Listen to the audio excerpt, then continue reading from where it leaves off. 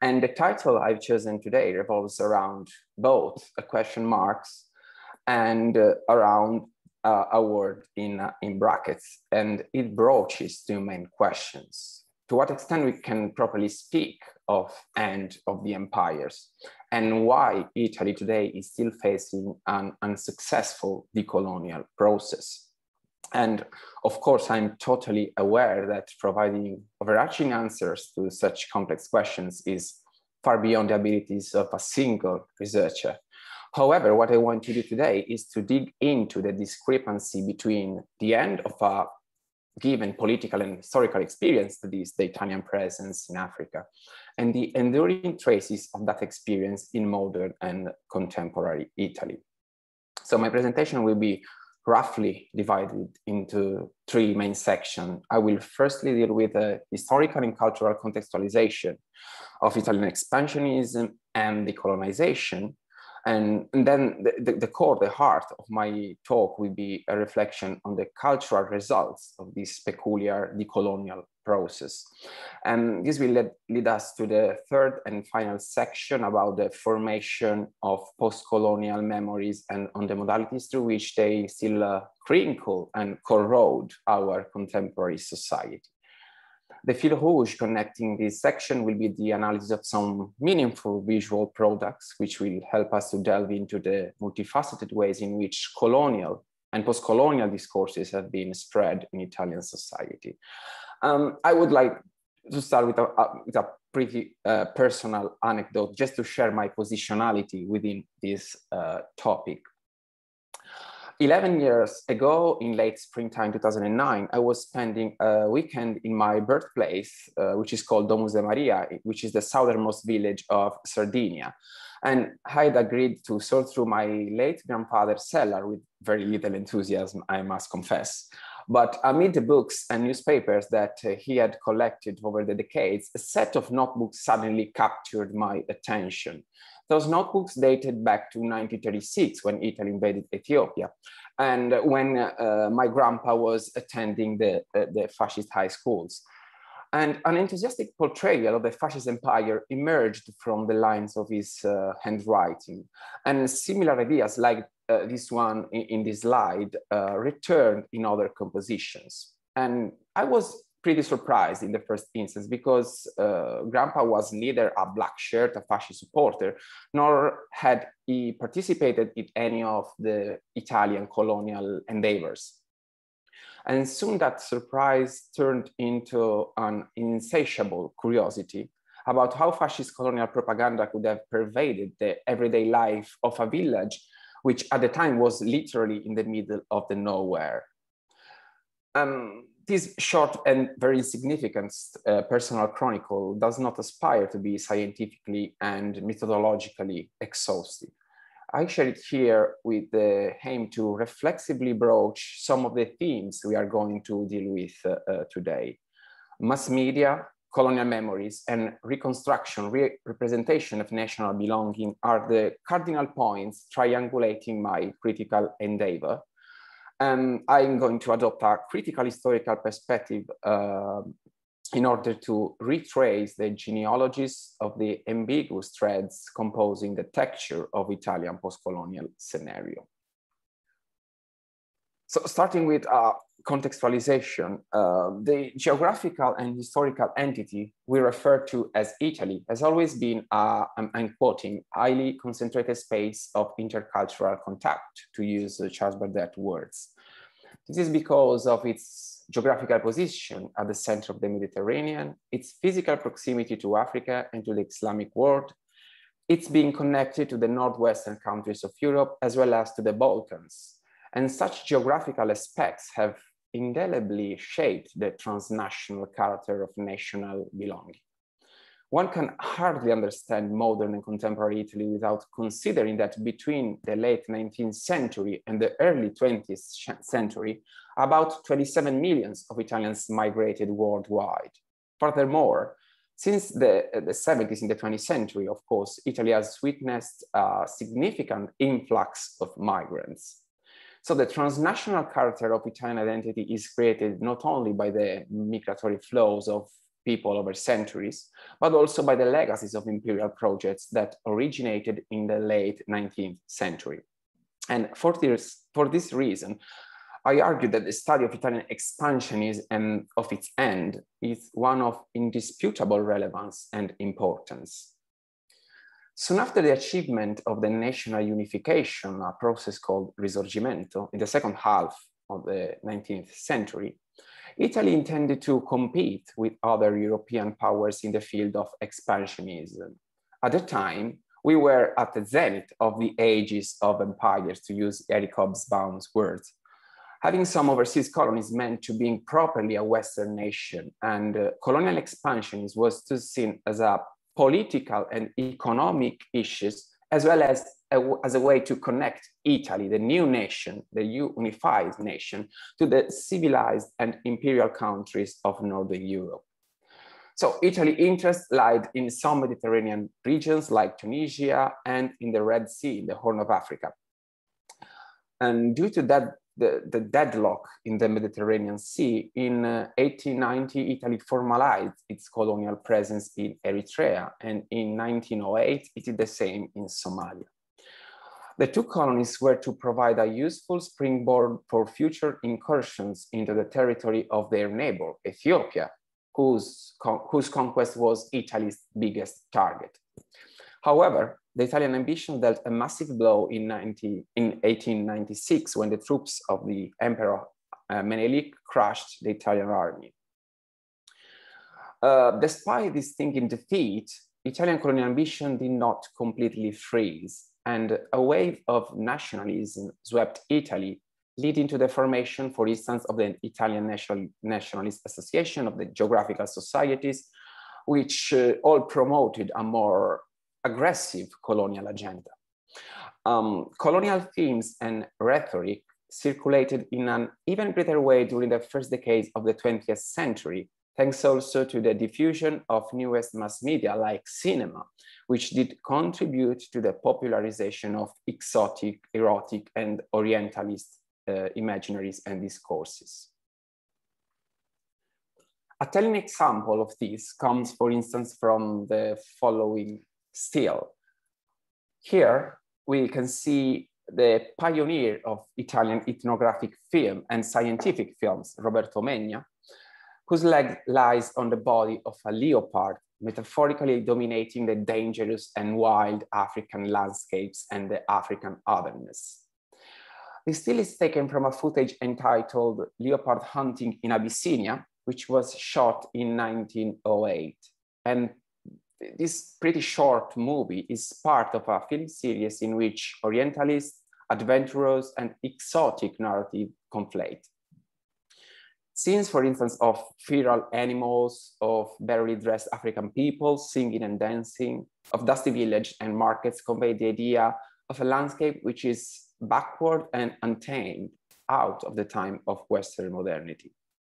And although such visual tropes were broadly spread uh, in coeval European productions, this footage is extremely topical insofar as it represents the first film evidence coming from the Italian colonies. It therefore intercepted the diffusion of colonial topics and rhetoric within the Italian society, which would have brought to the Italo-Turkish War. Um, taking a, a, a, step back, Italy was eager to take advantage of the ailing Ottoman Empire and invaded Libya in September 1911. Colonial propaganda suggested that Libya, as a former Roman colony, should be taken back to provide a solution to the internal problems of Italy, and in particular to divert Italy's overabundant population in the colonies. So the colonial war to gain a Mediterranean colony suddenly turned into a national war. Thousands of Italian soldiers fought in Libya, and for the first time in human history, the airplane was used as a military weapon. And I'm gonna show you here an image of Giulio Gavotti, uh, who, who had the idea of put some bombs, to throw some bombs in the Libyan territory. Um, so the whole nation was involved thanks to a massive propaganda effort. And cinema too, for the first time, played an unprecedented role in that it shaped colonial discourses and imaginations within the peninsula. In the film chronicles about the war, Orientalist and exotic nuances were interspersed with images in which the brutality of the war stands palpably out, as the case of the footage I'm going to show you now.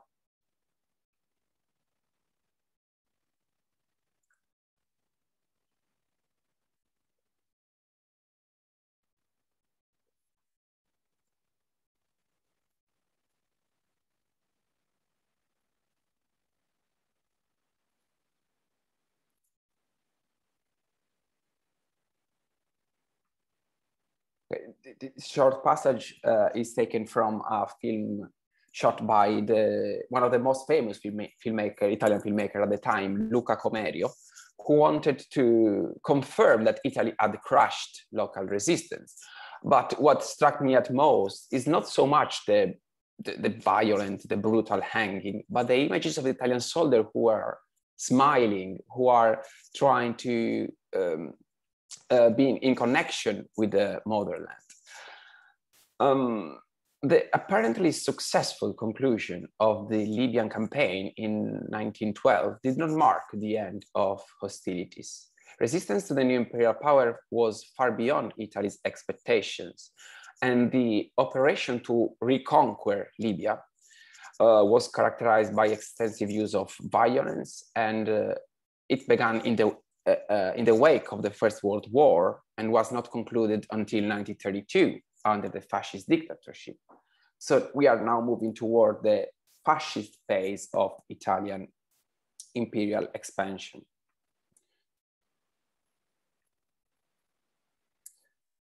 So the, the, the, fascist government came to power in 1922. And although following the main trajectories of previous colonial policies in the Horn of Africa and in Libya, Benito Mussolini aimed to expand the Italian empire in its second invasion of Ethiopia in 1935-36, Italy was successful. And that war, by the way, was the biggest colonial conflict in Africa.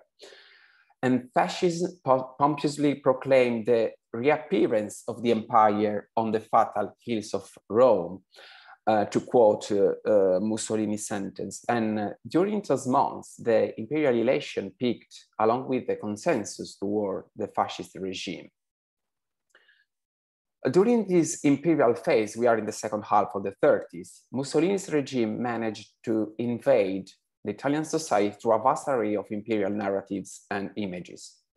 Film propaganda played a pivotal role in spreading racist and scornful images, and discourses about the allegedly civilizing ethos of fascists went hand in hand with a complete disrespect towards African cultures and people. Um, those propaganda films uh, feature the, for instance, the exaggeration of primitive traits obtained uh, by zooming in on naked or unhealthy black bodies for whom any form of dignity is denied. And I'm gonna show you a telling example of this. On the left column, you can find some subtitles.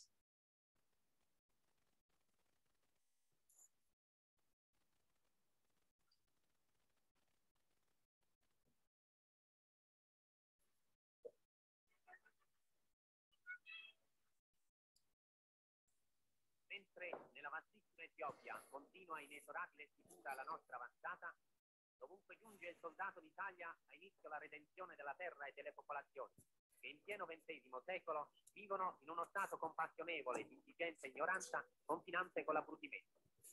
Questi poveri esseri selvaggi che vedete sono genti appartenenti a tribù nomadi, Unama, Benihamer e Baglia, che vivono ancora come all'età della pietra. Donne la cui esistenza differenzia ben poco da quella di una bestia da sova perché gli uomini non hanno che una occupazione, una passione, la caccia, alle bestie o all'uomo. Sono insomma guerrieri nati e soltanto guerrieri. Coraggiosi ed entusiasti, non manca loro che disciplina ed adeguato equipaggiamento per diventare degli ottimi archer e di ciò si incaricano i nostri ufficiali.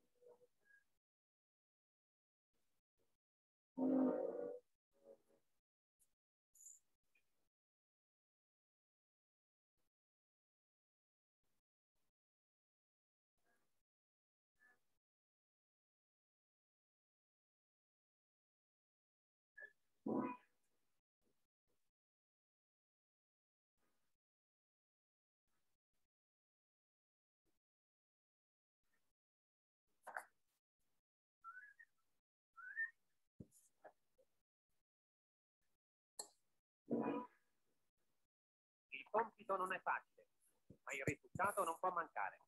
E la metamorfosi, seppure meno rapida nella realtà di quello che appare sullo schermo, è veramente completa e non solo apparente.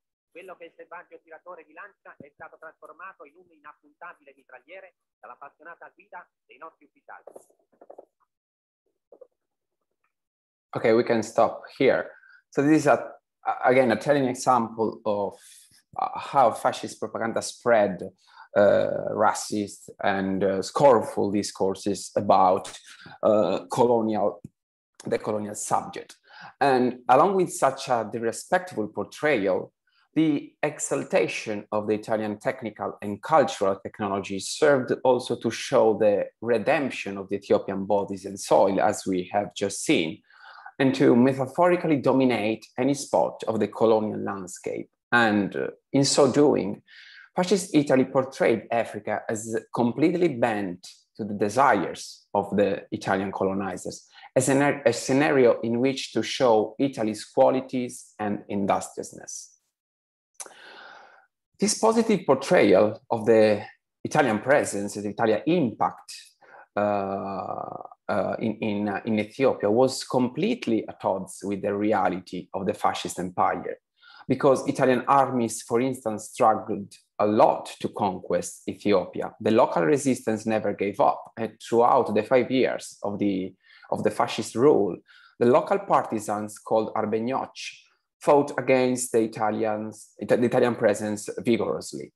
So uh, for its part, fascist Italy did not spare the use of the most brutal technologies like chemical weapons, concentration camps, to crush the local resistance. Furthermore, an apartheid uh, regime based on uh, racial segregation was implemented in the colonies in order to avoid any undesirable contact between white and black people. And actually, the, this racial setting was sanctioned by a state law and it anticipated the anti-Jewish law issued in fascist Italy in 1938 and 1939.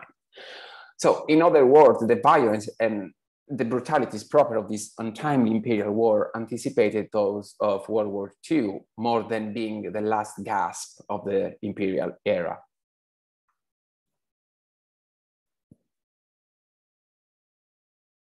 Okay. So this uh, imperial setting lasted only five years. It was a frail empire on, uh, on May 1941, Emperor Haile Selassie of Ethiopia returned to Addis Ababa. He was in, ex in exile in, uh, in, uh, in the UK, in Bath, and he was escorted by the English troop. Allied troops had defeated Italy in Ethiopia, Somalia, Eritrea, Libya between February 1941 and December 1942. The end of the Italian Empire of East Africa intersected with the most significant period of turmoil occurring in modern Italy, that is the fall of fascism and the national reconstruction following the Second World War. And despite the genuine anti-fascist ethos that inspired the Governi di Unità Nazionale, the National Unity Cabinet, and notwithstanding the feeble international role of post-fascist Italy, the, the post-war governments requested that the colonies acquired before fascist invasion of Ethiopia, so Eritrea, Libya, and Somalia, be returned to Italy. Between 1945 and 1947, Italy's diplomatic efforts aimed at regaining a form of direct control over Libya, Eritrea, and Somalia. But the results fell far below expectation. In 1947, Italy officially relinquished the claims over its former colonies, and only Somalia was eventually turned into a UN trust territory under the Italian administration until 1960. So Italy's decolonization was thus prompted by international decision by the United Nations and not so much by anti-colonial struggles by former colonial subjects. This de facto avoided Italian politics and culture to come to terms with colonial crimes and usurpation. The missing critique of the most violent and racist results of the previous colonial history characterized Italy's uh, post-war, post-colonial scenario. And this is the reason why I use the term fail while referring to Italy's decolonial process. These political processes and mnemonic mechanisms became visually visible and audible on several occasions. And in my doctoral thesis in Warwick, and also in some articles that have been recently published, I have chosen to focus on non-fiction film, on newsreels and documentaries for two equally important factors. On the one hand, they were highly privileged tools to envision the new social and cultural configuration of post-war Italy. On the other hand, I argue the importance of closely investigating these films for their implicit assertion to offer a representation of the post-colonial world as truthfully as possible. So basically constructing a reality which was instrumental to uh, former colonizers' aims. The indexical relationships uh, this footage aimed to establish with what, what happened in front of the camera made them instrumental in delivering political messages, whether directly or in more surreptitious ways. And as I said before, between the 40s and the 60s, a thorough critique of the colonial past de facto lacked in Italy. On the other hand, African people and landscapes were portrayed as still in need of being civilized by Western people. This is especially evident in some documentaries shot in the now former colonies. On the one hand, a series of films backed by Italian post-fascist governments were keen to spread images of Italy's positive impact on the former colonies, whereas not uh, carefully avoiding any public repentance for colonial crimes. Such representation assumed that the former colonial subject did not suffer any traumatic experience during the Italian rule. Any possible disturbing consequence of that experience was meant to vanish in the images of the benevolent impact Italians had had in, on Africans, and also in the representation of Italy's engagement in the future development of the former colonies. And this is clear, for instance, by looking at uh, some film produced in 1946-47 during the diplomatic efforts Italy was uh, was doing in, uh, in, at the Paris Peace Conference. I'm going to show you an example of this. There are no subtitles subtitles here, but I'm going to describe the, the, the footage afterwards.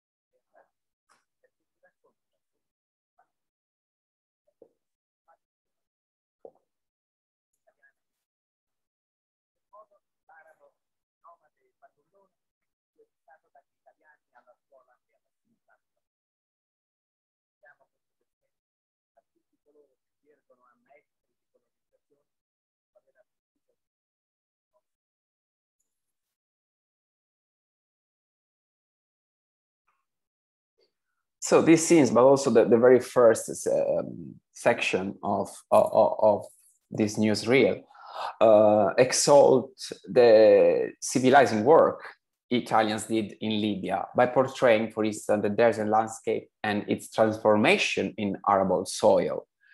The voiceover then provides a scornful description of Arab people. Uh, they are uh, uh they were called nomadi fannulloni, which is nomad and uh, lazy bones lacquers. The footage ends with this mordant sentence. We dedicate this film to those who stand as master of colonization, although they have destroyed entire populations with alcohol and rifles. So, uh, although not explicitly expressed, the resentment towards France and Great Britain is clear, and it was meant to highlight the different and positive nature of Italy's presence in Africa when compared to other imperial experiences. Propaganda film like this one spread an uncritical image about the impact Italians had in Africa. And this footage was part of a constellation, conglomeration of political and cultural practices that actively fostered a conspiracy of silence about colonial crimes, to use the words by Dietmar Rothermund which made the memory of the colonial presence in Africa biased, unproblematic, and vague. Another set of images contributed to strengthening this kind of conspiracy of silence.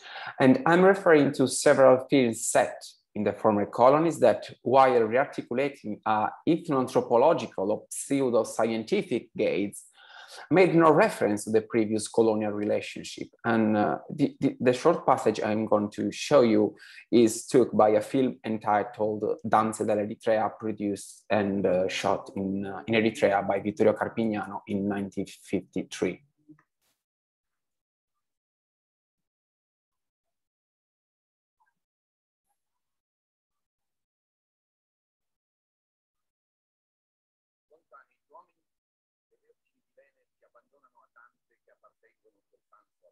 Here we have the, the description of, what's happening in front of the camera.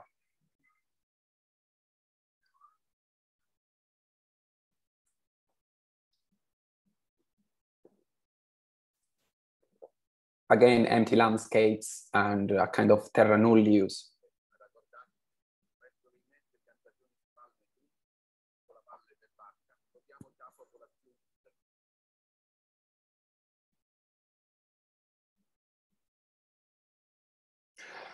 So in my opinion, the iconographic continuity with the previous colonial production is palpable.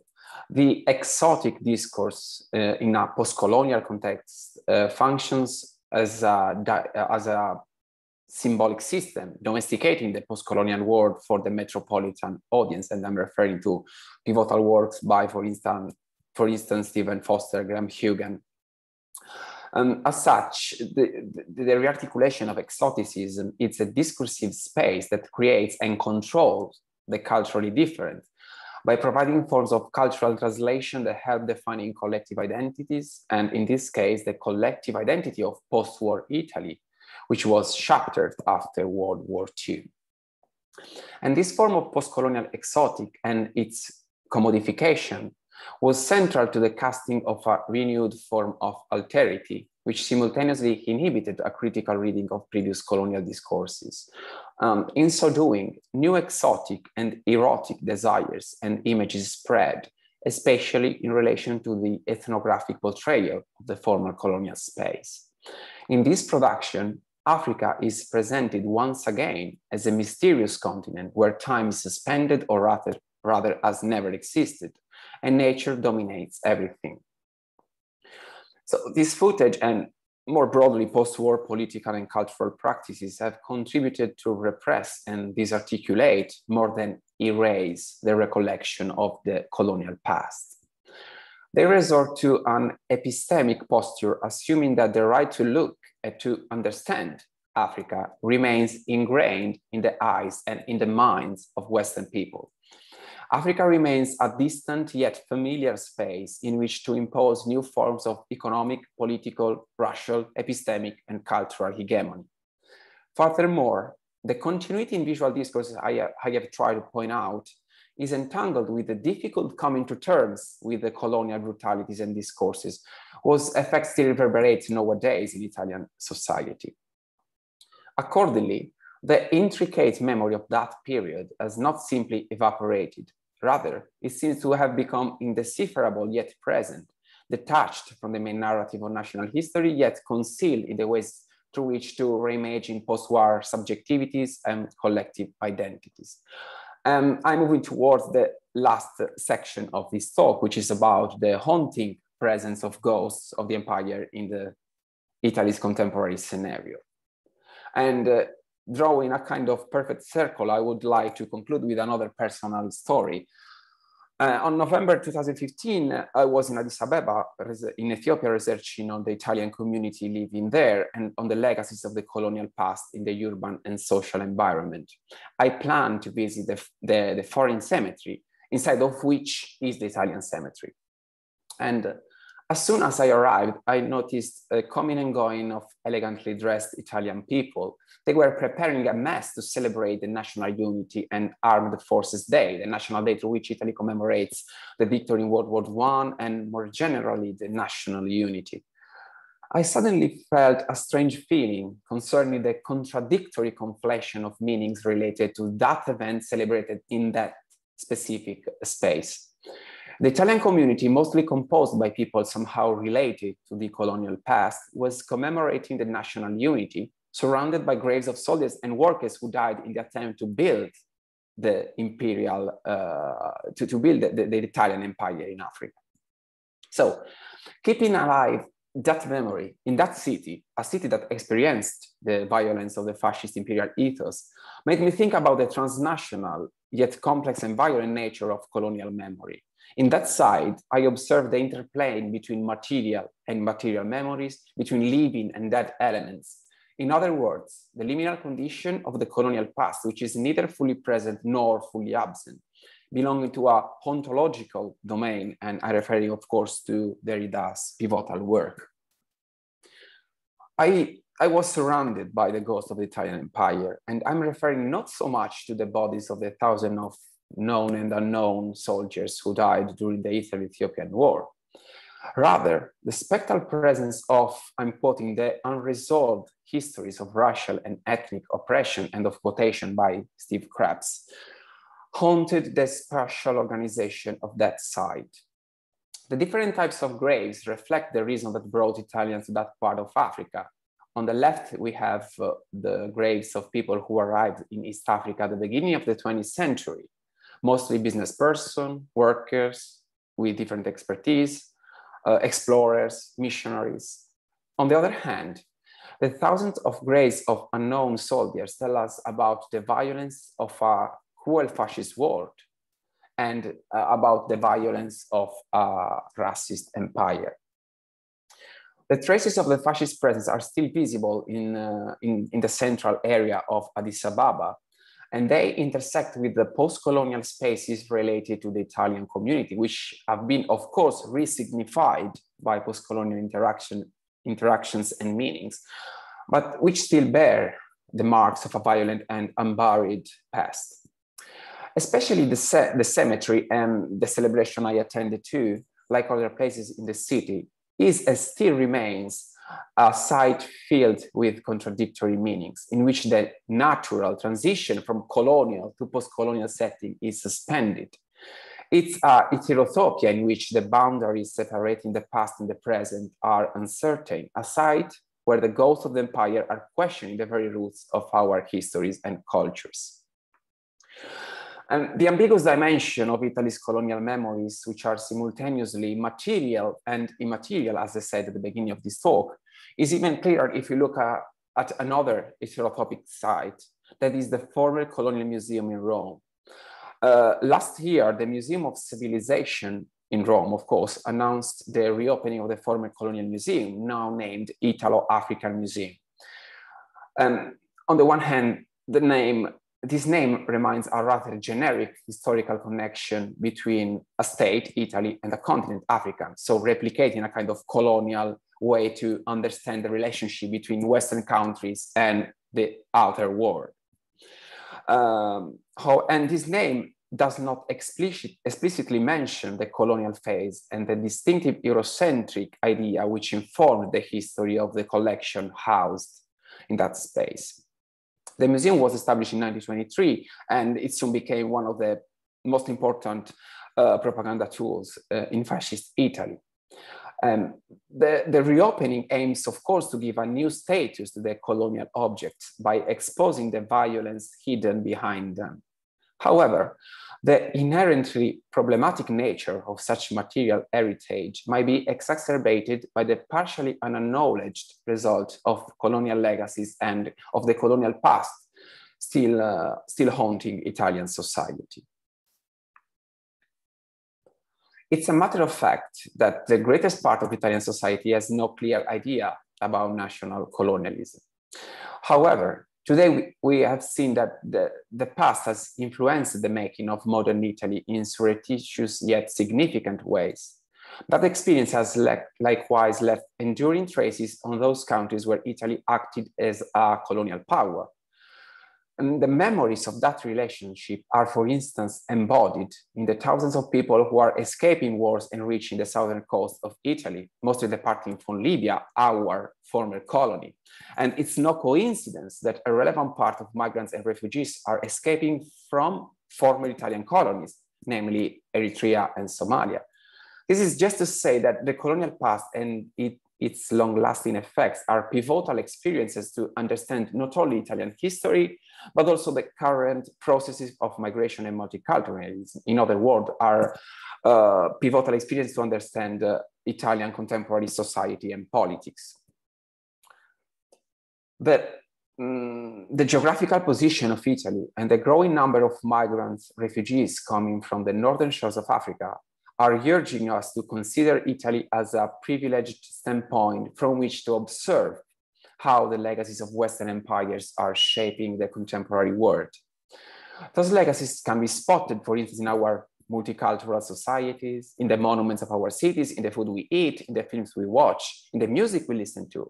However, and more worryingly, those legacies are also embodied uh, in the people who seek a better future escaping their country than once upon a time where, where once upon a time were our dominions.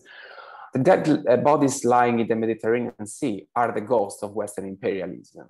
Their lives and their deaths challenge our national histories, our political system, and our consciousness as human beings.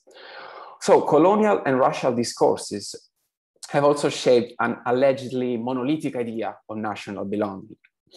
And this idea is, for, uh, luckily enough, increasingly questioned and undermined by a growing number of persons and groups like activists, researchers, artists, practitioners, writers, musicians, who are all attempting to deconstruct the colonial legacies still present in a legal system of citizenship based on the jus sanguinis, the rule of blood, and in so doing, an increasing number of decolonial practices is aiming to expand the borders of Italian citizenship and belonging.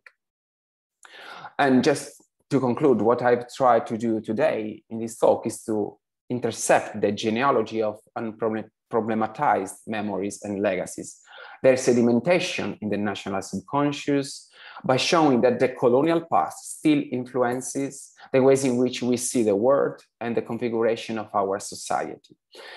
Such a research, of course, has a strong critical and ethical component. However, this does not imply that we must exchange methodological meticulousness for ethical and social engagement. Rather, the more critical and historiographical tools are sharpened, the less colonial debris might find legitimation in our societies, especially considering the intolerant and extremist discourse that are dangerously resurging nowadays.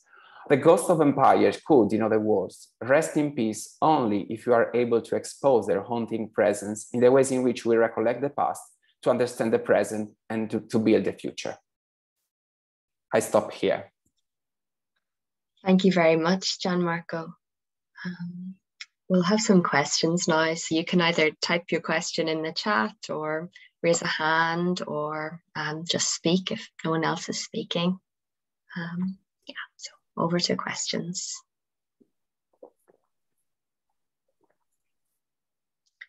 I have one if um, everyone's a little shy to begin with.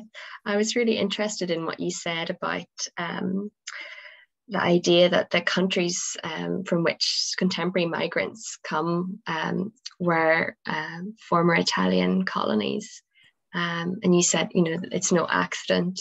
I find that intriguing because the narrative, you know, I've come across more often is that um, it's like Italy just happens to find itself on the southern kind of coast of Europe and so on. So I just wondered if you could say a little bit more about that. Mm. Of course, there are. Thank you for this. This is a very sharp and spot on question. And the point is that uh, uh, Italy, for instance, in the Red Sea, basically created some uh, states, some entities. For instance, Eritrea was not a state before Italy invasion. It was just a province of the Abyssinian Empire at the time. So drawing some borders, for instance, is a way in which a colonial power could manage the situation on the field. But we know that the border uh, between Eritrea and Ethiopia is a hot one because there, there has been several wars in the 90s, in the early 2000s. So this is a, just an example to say that uh, colonialism crinkled and corroded the, the, societies and the ways in which also the former subject have built their, their own states. And this is a very, you know, approach which is very um, eager to, to, to, to, to, be in contact with the colonial school of Walter Mignolo, uh, um, Enrique Dussel. So the way in which we, uh, as European, we created colonial states is not just a matter of political action. Of course, it's, it's political, uh, it's a political discourse, but also it's an epistemic uh, way to understand uh, lots of um, issues that are going on also in the countries which uh, suffered the Italian presence. And in Libya, it's uh, clear as well, because uh, uh actually Gaddafi only in the 1970s um, invited Italians to left the country. So a proper decolonization happened only 50 years ago. And the, the Italian community, even after the end of the formal presence after the World War II, between the 40s and the 70s played a crucial role in the economic system of Libya. So we could not understand what, uh, what uh, what's happening right now if we are not aware of the long lasting relationship in terms of colonial discourse and colonial practices. Mm. And of course, on the other hand, we have all the consideration about the representation, the ways in which migrant people are perceived, are, you know, represented in the uh, Italian slash European or Western way to, to approach the issue. But I think that we also we need to consider at the same time this political, epistemic, and also cultural ways to approach the issue. Mm-hmm. Hope to have answered to your question. Yeah, thank you. Thank you. Um, is it something that's starting to come through or that is mentioned a bit in kind of just Italian, um, you know, kind of normal press that people would read generally this kind of colonial connection, or is it more, is it something that's more discussed in more specialized kind of decolonial circles? Or? Well, actually, it's it, it's still an issue um, which is. Uh, you know enclosed in some circles which are you know very keen to to work uh, with uh, with colonial legacies.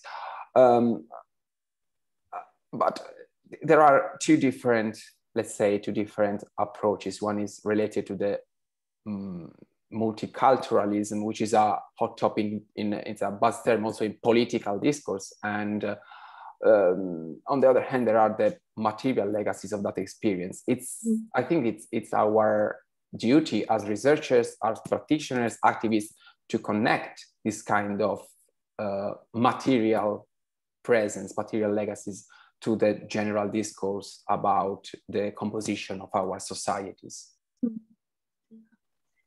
Thank you. Um, I see Elena has said her microphone's not working. If you want to put a question on, in the chat, um, feel free, and equally anyone else can feel free to put a question in the chat or raise your hand. Um, in the meantime, um, I just return to what you said at the end about kind of social engagement and critical and methodological tools and the relationship between the two. Um, what do you think? I mean, which methodological tools have you found most valuable in, um, conducting this project of intersecting national memories and like a decolonial memory? Mm-hmm. Well, I, I'm trained as an historian. So um, the, the, the, critical historical approach brought me also to, to, to, to use some post-colonial and in particular decolonial uh, theories and critical practices in order to enlarge my, my horizon in terms of what kind of epistemologies are reproduced also in the anti-colonial thinking, for instance.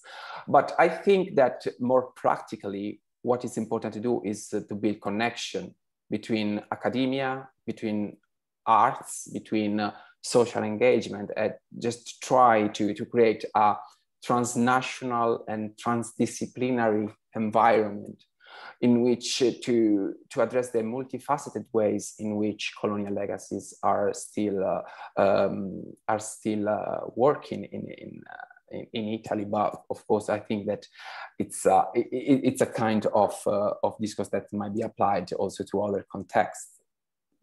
Oh, thank you. It's really helpful. I see Elena has a question in the chat now.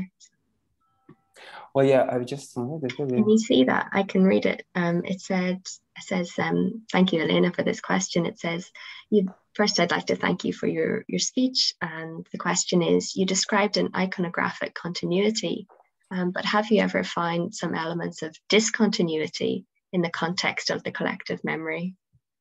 Well, of course, there are discontinuities but it, it, really depends on the period in which uh, uh, the, the, the, films were produced. For instance, in 46, 47, we are very close we, at, the, at the end of the empire. So the real footage used to, to craft uh, the newsreels, for instance, the post-war newsreels was actually the same shot by the fascist propaganda. There was a mm-hmm. kind of re-semanticization through the voiceover and the voiceover starts uh, to mention, for instance, the cooperation, uh, development, words like this. However, there is also discrepancy between uh, the images and the, the, the, the words.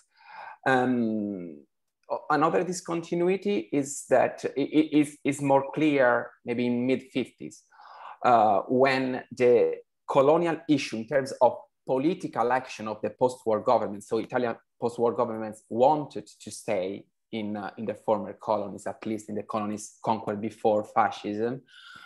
So the political issue uh, uh, about the former colonies uh, soon became marginal because there were other problems in Italy, like Reconstruction, Marshall Plan, Cold War polarization, the democratization of the system. So the colonial uh, and uh, the, the, loss of the colonies be, became a, a, bit marginal in this discourse. However, in the mid 50s, there is the, the return to a form of ethnographic point of view. So there was a description of uh, the African otherness. In terms also uh, very close to the, for instance, for the cinema verite, so the voiceover was not so so overwhelming in, in the films so we, we can see a, a, at least a try, uh, at least an attempt to, to, to, to provide a more unbiased, uh, a more unbiased portrayal of the former colonies. But at the time, there were not the former colonies. This was simply Africa. And that's the reason why it's important to understand why exoticism actually helped in uh, forgetting the colonial past. Mm.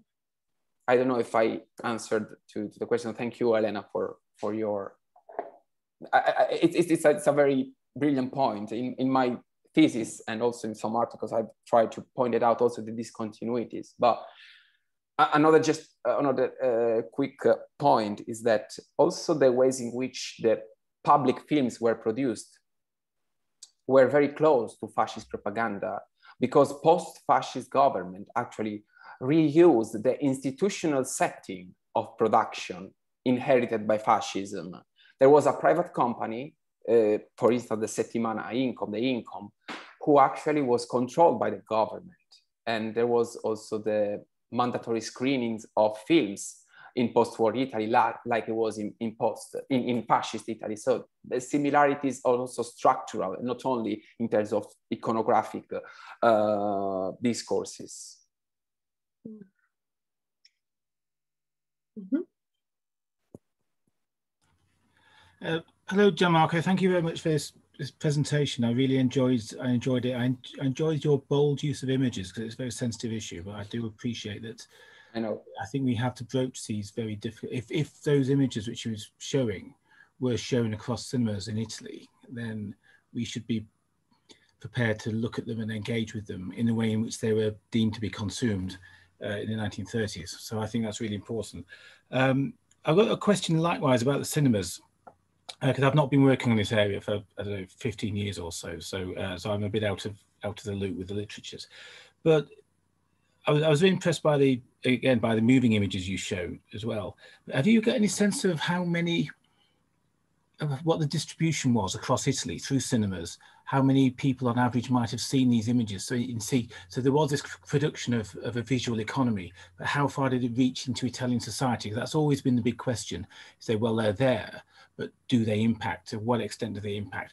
Who, do, what parts of society are impacted by these? And I just wonder if your if your PhD is, is you've managed to get any further with those questions. Well, thank you, David. It's it's a very important question as well because um, there are, of course, some different um, ways in which those films reached Italian audience. For instance, the, the films about Libya, the, the, the people who actually watched that was incredibly uh, less than uh, the people who watched the fascist newsreels because fascist newsreels, were mandatory. So and uh, we know, for instance, looking at the, the works by Stephen Gundle, David Forgacs, that between the 30s and the 50s, there was the golden age of cinema. It was the, mm, the, the, most uh, important pastime for Italians. So I can assume that, for instance, between the mid 50s and the 40s, the 80% of Italian people could, uh, could have watched these these films also because uh, we, we are going to deal with not simply with the stable movie theaters, but also with the itinerant shows, which are which were brought in Italy and in the colonies as well. I've, I've done a research about the, the diffusion of uh, film shows in the in the Italian Empire. So uh, it, it, it, they were this footage was very well spread, and about the reception it's a it's a big question mark. And the same can be said for the post-war uh, period because cinema still remained uh, the the biggest uh, past time um, until television spread. So we are talking about the late fifties. Um, I was saying uh, uh, well about the, the level the level of appreciation, which is I think the the, the, biggest uh, question marks and. Um, I just want to to to observe that uh, in some records I found, for instance, at the Archivio Centrale dello Stato, the Central Archive in Italy, of the archive of the Istituto Luce, which was the fascist state propaganda institution, there were uh, there was a lot of criticism toward the way in which propaganda, col colonial propaganda, was engaging Italians. There was a, a you know, an endless, as, as I would say, endless concern about the fact that those films were not totally in tune with the fascist discourse about the, the, empire. But of course, we know that the fascist discourse about the empire was extremely multifaceted, complex, was composed by different suggestion, futurism, nationalism, uh, more traditional ways to understand colonization, but also, uh, uh, uh on the other hand, a religious ethos. So it, it's really hard uh, as far as the post-war period is concerned, there, there, there, has been the, the project Italian Cinema Audience, uh, which, have, which has actually shed an important light on the mechanism reception, but there is no specific work on the reception of the colonial topic. As I just can just quote, for instance, Nicola Labanca, who said the Italian people were more were more interested in uh, in the northern borders issue in the post-war aftermath.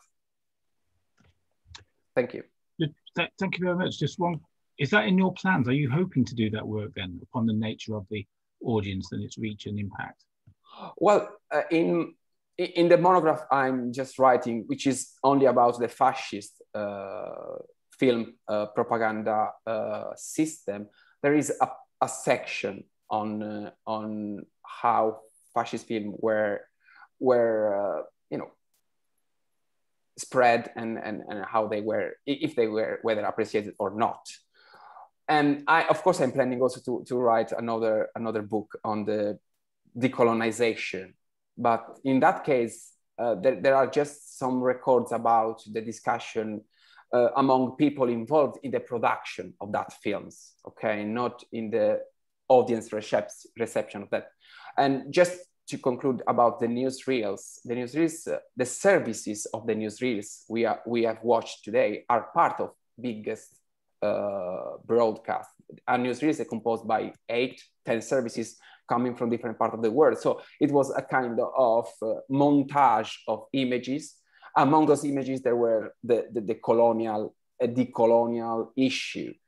And it made me think also that uh, this kind of discourses uh, could be could have been you know uh, entered in the Italian society also in more surreptitious ways in, in, because they were in a montage of different different uh, kind of images and services coming from all over the world about colonial Italian politics, sport, uh, glamour, so on and so forth. Thank you. Okay. I see Nicolo has has a hand up, and then and then Davide. Yeah, thank you so much for the presentation. First of all, it was really enlightening and enriching. And I have a question regarding your research process. And I'm curious because I know that studies in post-colonial studies in Italy are sort of a recent thing. And since every colonization process is very specific and very depends a lot on the context, I was wondering if you ever encountered any challenges in uh, theorizing like decolonization processes in Italy. Maybe you felt that you didn't have the right tools comparing to other decolonization processes and and how you overcame these challenges in, in your research process? So thank you. It's, a tough question actually.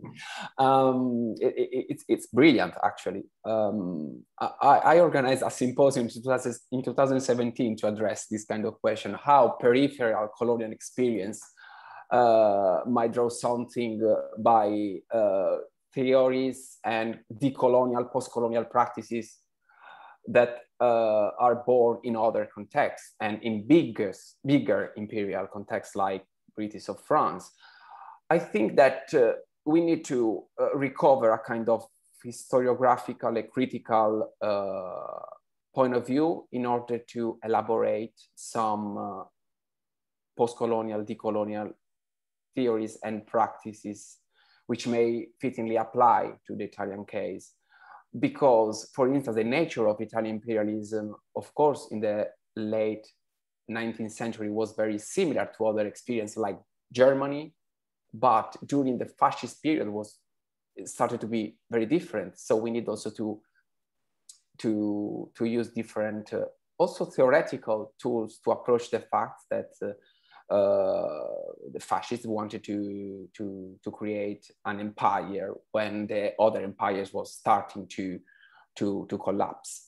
Um, actually, in my first PhD here in Cagliari, I've done uh, a, basically a, an historical reconstruction of the mechanisms of propaganda. In my second PhD at Warwick, I, of course, uh, I, I dig into more specifically on theories. What it's, I think it's important is to understand the formation of memories. Just the, the only advice I can, I can, I can share with you is that the, the, the, the transnational formation of colonial memories, which is uh, an, the only way we have to connect that history with more contemporary uh, practices. I know maybe my question is, it's a bit fuzzy, but uh, I think that it's really hard to address a peripheral colonial experience. But of course, if we look at Italy, but also Germany, for certain um, for certain extent, also to Portugal, the Netherlands, there are lots of countries which share this kind of peripherality in the geography of post-colonial theory. Thank you so much. Thank you. And Davide? Thanks a lot. Uh, thanks, Dr. Mancosu. Uh, it was a really interesting uh, presentation to listen to. I, I, come from a field, the European studies, which has still a lot of uh, untalked about uh, issues with uh, colonization and decolonization. And I think the focus on the first post-war period is very interesting because you even see in the Schuman Declaration the task of development of Africa as one of the main tasks of United uh, Europe, which is not very talked about uh, in the past uh, decades, let's say.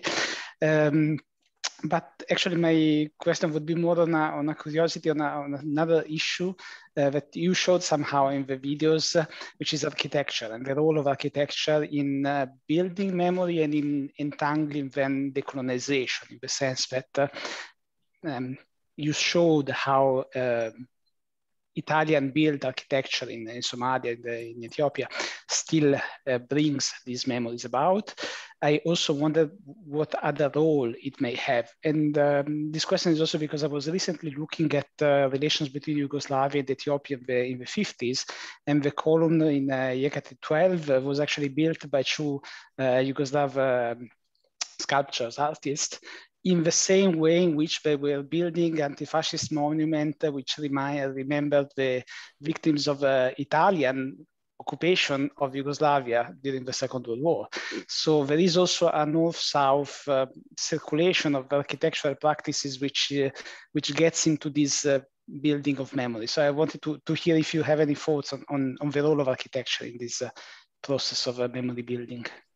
Well, thank you. It's a, it's a fantastic question. And uh, about the connection between Ethiopia and uh, and uh, and Yugoslavia, there, there has been a fantastic um, exhibition in London in 2018 called uh, uh, Red Africa about uh, the, the, the, the ways in which the Cold War shaped this transnational alliance of leftist communist parties, especially European or Soviet architects went to Africa to celebrate decolonization through monuments.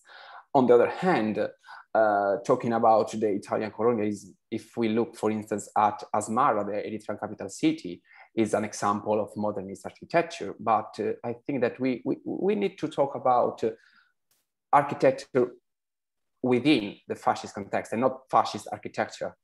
Um, of course, the, the things changed when fascists decided to, to set the, the empire, to organize the life in the empire according to racial uh, principles. And uh, if we look at the works by Mia Fuller, for instance, it's clear that uh, uh Italy wanted to uh, organize urbanistically the, the cities according to very, uh, very tough uh, and very rigid uh, areas, boundaries which were separated according to the skin color, basically. And what is interesting, but it's a, it's a, it's a personal, on a personal point.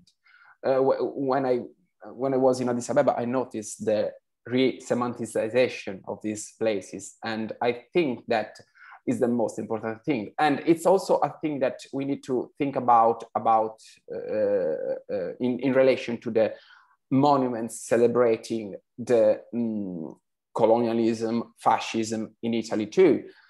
But it, it, it's, a, it's, a, it's a, a, a transnational debate. And uh, I think that the post, a truly post-colonial ethos in approaching the architecture might be achieved only if we try to give a, a new meaning to that material uh, material uh, traces. Hope to have uh, get get a point and answer to your your question. Many thanks. By all means. Yeah.